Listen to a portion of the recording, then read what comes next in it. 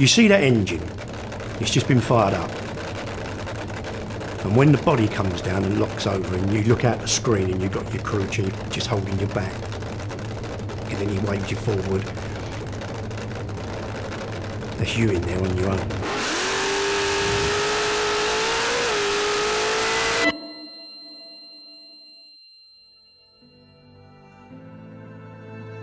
I was always interested in cars from a very young age.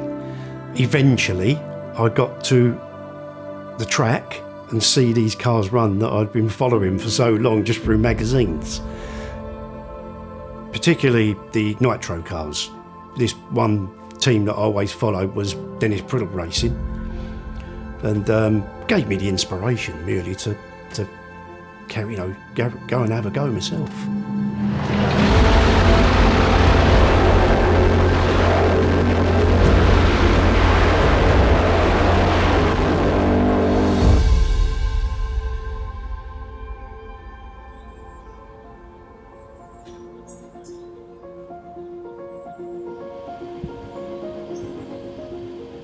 Prepping for a weekend starts from the end of the last event.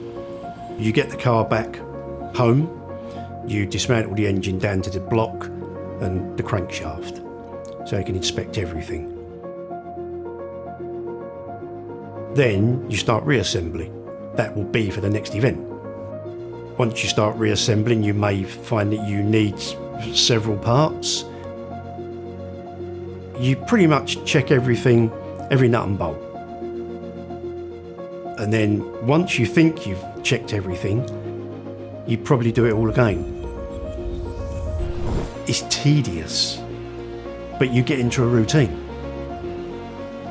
If you want the car to be safe and you want it to run as quick as you want it to run, just do it.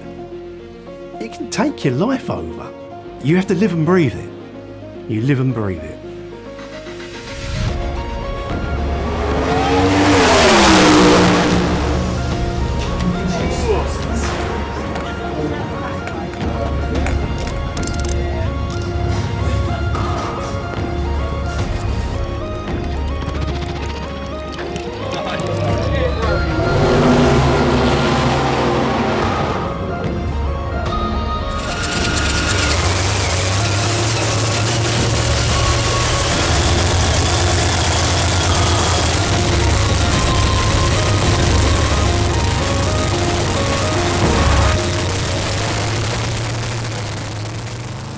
When you get to the track, the pressure comes off a bit because you're there. It's all starting to happen. And people say to me, Are you getting excited? I say, I'm not excited until I'm strapped in that car and I know everything's okay. When I'm strapped in the car and the starter's plugged in and I know everything's been checked over, that's when you get excited because you know it's happening now.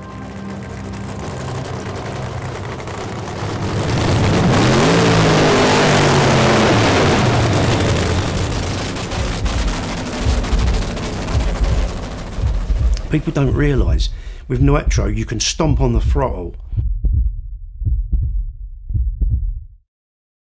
and it can be over like that.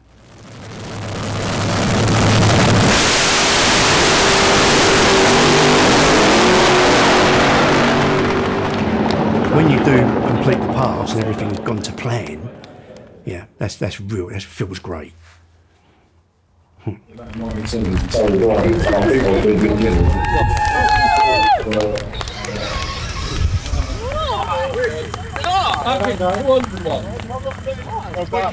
Must be, it must be great for it just to, just to go down the track every time. Must be wonderful. Eh, well, what more could you really want, Daryl? You know, what more could you want? If we can just get into the six twenties somewhere like that, six, you know, six, Almost there. six oh. Got to get cracking, but look after Great. yourself, and I'll Thanks, see you tomorrow. Yeah, right, we'll mate. do. Thanks, mate. Well done again.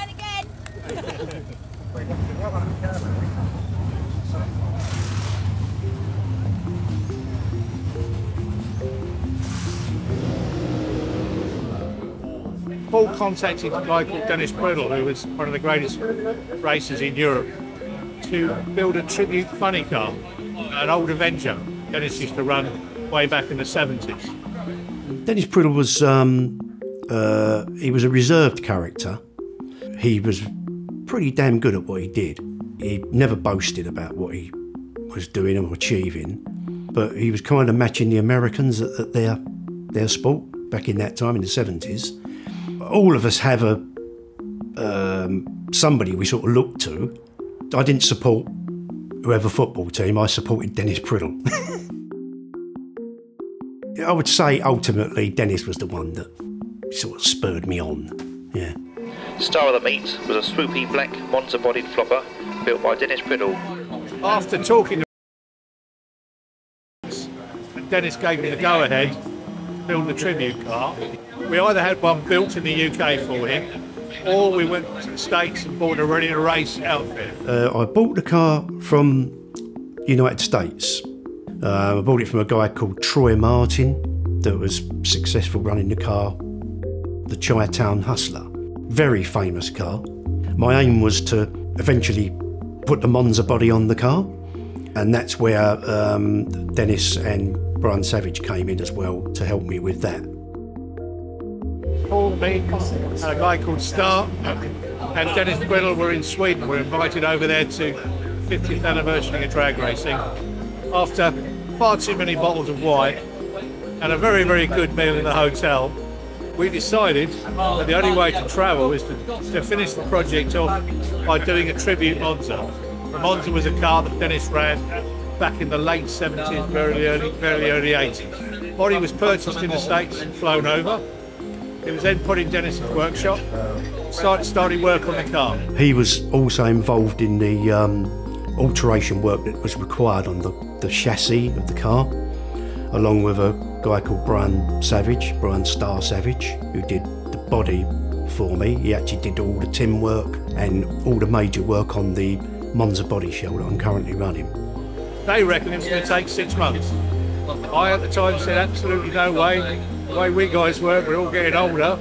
It's going to take us a few more months than six months. I was more or less correct. It took almost a year to finish the body off. However, the body is immaculate.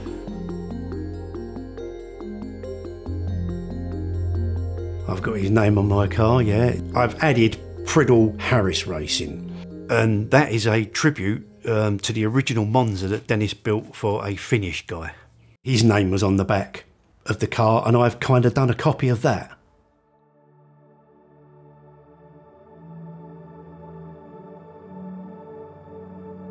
Dennis died back in um, 21, back in 2021. He did see the car painted and finished, but he didn't get to see me drive the car. I'd already driven a car with a different body to the body that I'm currently running. Dennis watched me drive that and he see me license, etc. But he, unfortunately, he didn't actually see the Monza run.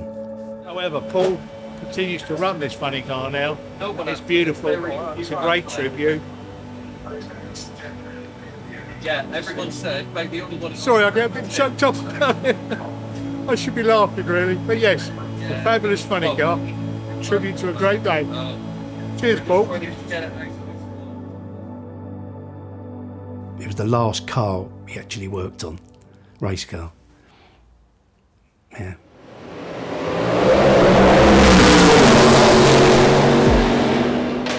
That